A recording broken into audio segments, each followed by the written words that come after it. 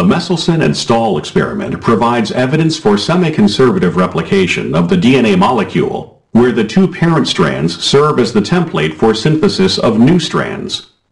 In this experiment, bacterial cells were grown for several generations on a medium containing a heavy isotope of nitrogen, N15. The DNA in these cells therefore contained heavy N15 nitrogen.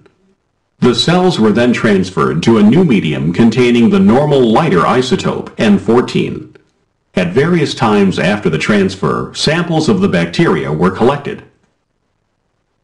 The DNA was then extracted and dissolved in a solution of cesium chloride.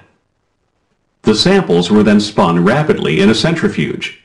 When the cesium chloride is centrifuged at high speed, a concentration gradient is established in the tube.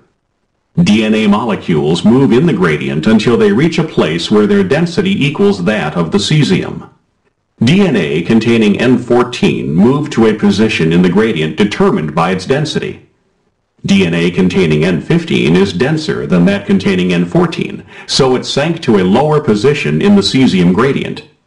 After one generation in N14 medium, the bacteria yielded a single band of DNA with a density between that of N14 DNA and N15 DNA, indicating that only one strand of each duplex contained N15.